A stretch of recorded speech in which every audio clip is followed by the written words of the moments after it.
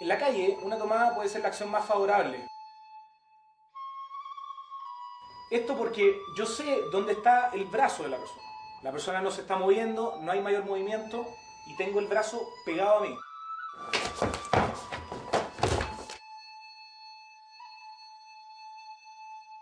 La persona me toma.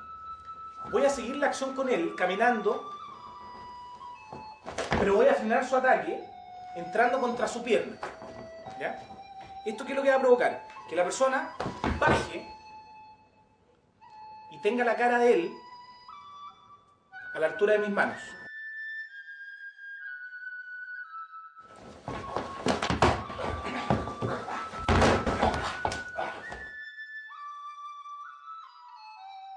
Para yo poder frenar efectivamente un ataque de puño directo, lo que debo hacer es bloquear tanto su puño como su avance.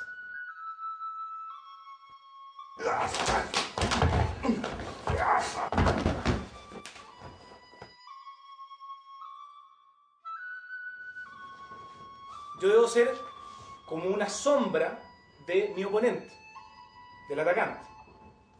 Si la persona viene, yo voy.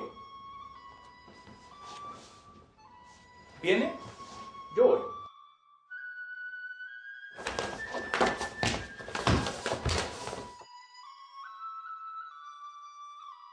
Si yo logro tomar la mano de la persona, eso tiene que funcionar igual como si fuera una mandíbula de un rottweiler. Es decir, tomo y no me suelto. Pase lo que pase. Golpeo con la otra mano, con las piernas.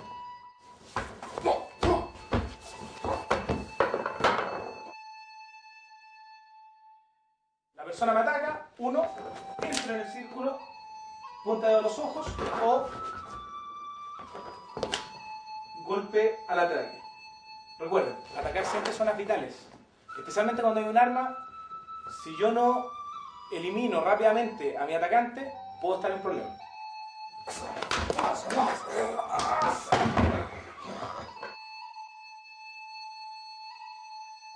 Salir de la línea de la persona. ¿Por qué voy a realizar esta acción? Porque si voy por dentro, la persona puede girar y estoy dentro de la acción del cuchillo. Entonces, si voy por fuera, tengo controlada la muñeca de la persona, tengo controlada la situación.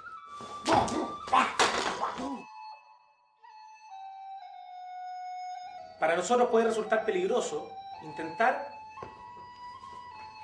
buscar el arma, ¿ya? Porque la persona inmediatamente nos puede bloquear y además estar atacando. Por lo tanto, en esta técnica, de lo que nos vamos a preocupar es de lo que está más cerca de nosotros, que en este caso es la mano izquierda del atacante. ¿Cómo lo voy a hacer? Primero, no me conviene ir acá porque quedaría inmediatamente a merced del arma. Por lo tanto, lo que voy a hacer es salir de la línea de acción de la persona, del atacante, voy a ir por fuera y voy a atacar su brazo izquierdo.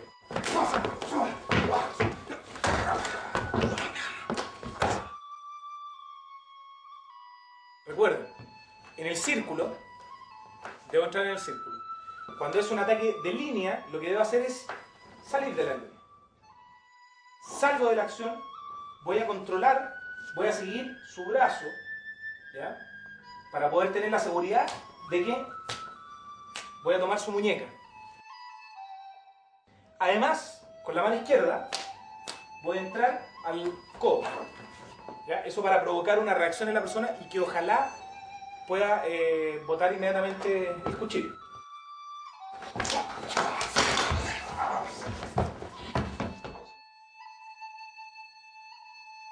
Lo que voy a hacer acá va a ser aprovechar la fuerza que trae la persona para golpear y además controlarlo.